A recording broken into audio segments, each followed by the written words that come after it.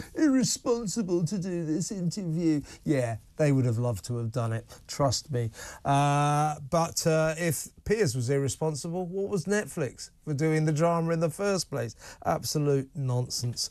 Uh, by the way, I sat next to uh, Fiona Harvey the other day in makeup. We have to get makeup put on. Uh, and uh, she's just there. I didn't know. I sat and she said, hello.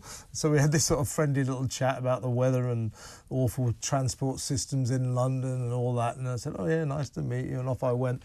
And outside, uh, somebody said, uh, you know who that is, don't you?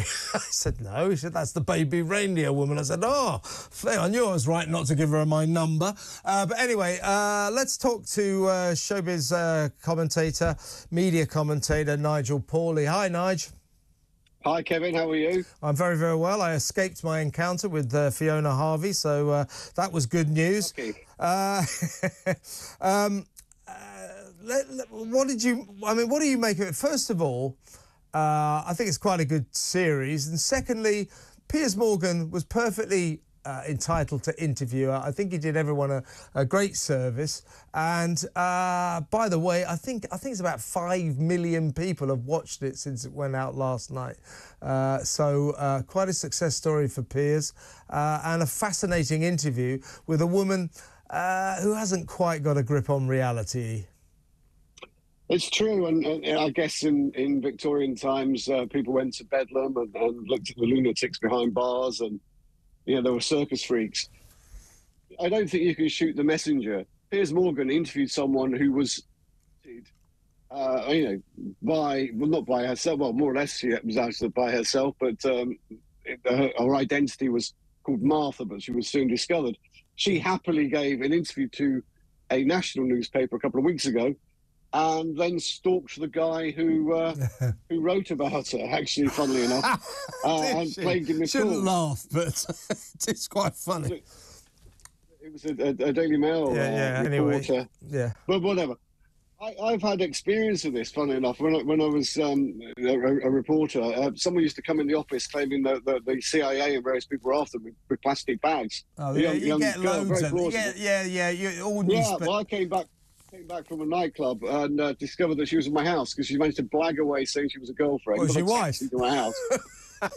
well, uh, yeah. No, yeah, so I'm just joking. To, no, I mean, you, are right. No, no. People in the media and I, can become targets. Uh, the media these. should not be. People in the media should not be criticising Piers Morgan yeah. for doing an interview about someone in the news. Yeah. If you're going to criticise, criticise a guy who's fictionalised someone he met in a bar when he was a barman, and fictionalised a lot of stuff there. Went yeah. through a, a miserable ordeal, but she got identified. Netflix have gleefully streamed this, and that weirdly, millions and millions of people have watched this. How suddenly can they get the vapors?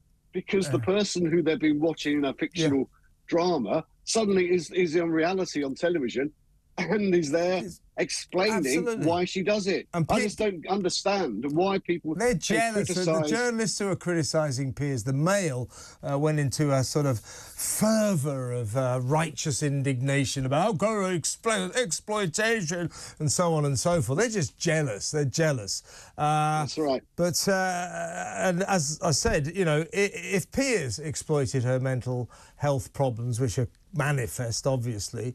Uh, what did Netflix do with the drama? It's not Piers' fault. I, Netflix uh, started the ball rolling. That guy, Richard Gadd, oh, I tried everything I could to keep our identity secret. Yeah, right. Well, you know, he knew it would have come out. So, so let's not get on our high horse about this. Let's remind ourselves that, Nigel, if you don't mind, of a, a few high points in this interview, or if you call them that. Uh, here's Fiona uh, describing why uh, she didn't really stalk Richard uh, Gadd, even though she sent him 41,000 emails. Uh, here she goes. Take it away, Fiona. Were you ever in love with? Were you ever in love with him? Yes. Is that a serious question? Yeah. No. No. It's not a question of. By his own admission, mm. he has said that he led you on at times. And he clearly I gave was... him the brush off. He asked me to sleep with him with a big green spot in his face one day. I said, no, I'm sorry, I'm not interested. He asked you to do what? He asked me to sleep with him. He said, would I like my curtains fixed? And I laughed. And he said, that's a euphemism. Do you want me to come home with you? And I said, I've got a boyfriend.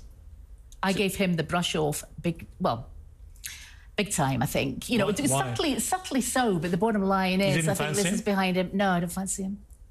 I don't fancy little boys without jobs. Hmm. that sounds awful. That sounds really, really callous, but, you know, She doesn't fancy little boys. That makes two of us. Uh, let's uh, yeah, move. that's fair enough.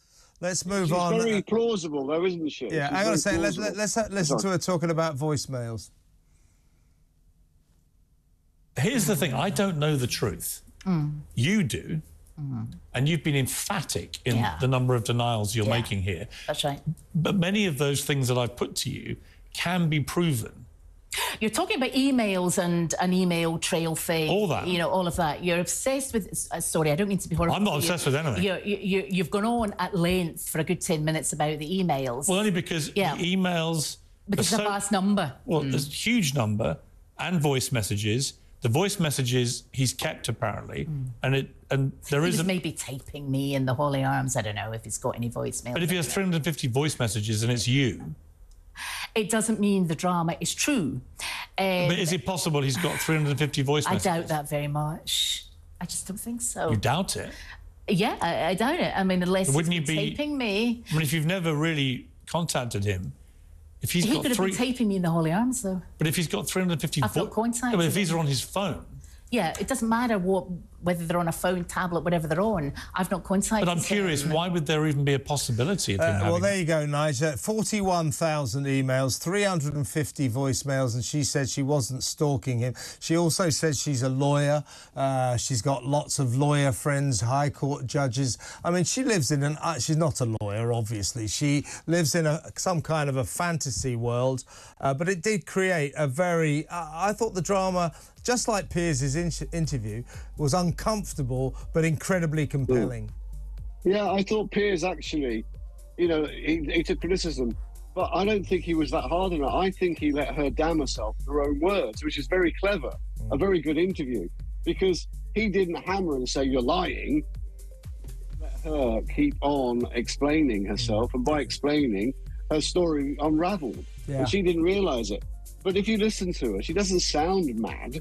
She doesn't sound Yeah, no, she- She she's, sounds she's very plausible. plausible. She's plausible until you examine the facts. She now says she's going to sue Netflix because she said it's a pack of lies. Hey, Fiona, good luck with that. Nigel, got to Yeah. go. Great to talk to you, mate. Thank you very much, Nigel Pauley there.